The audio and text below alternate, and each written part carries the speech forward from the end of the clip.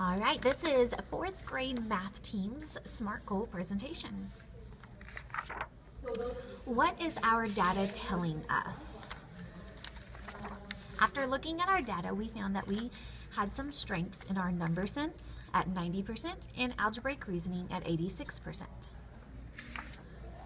Our weaknesses we found fell with our IEP students with accommodations and our economically disadvantaged students at 60%. Our IEP with accommodations were 28% passing rate, economically disadvantaged 60% passing rate, and then the skill that we needed to work on most were number operations at 63% passing rate. So our goal is to have these students reach 75%. All fourth grade math students will score 75% on a PLC created number operations quarterly benchmark. Special alert! Special alert! We have three special steps. Special one, to use PLC time to discuss word problem attack strategies.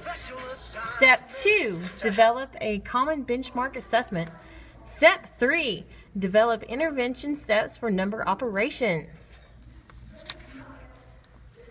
How and when will, will we assess the students? As a fourth grade PLC team, we will measure the students quarterly at these dates.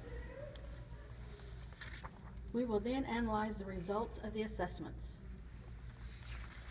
In art class, I will implement lines, measurement, geometry, and polygons in our projects.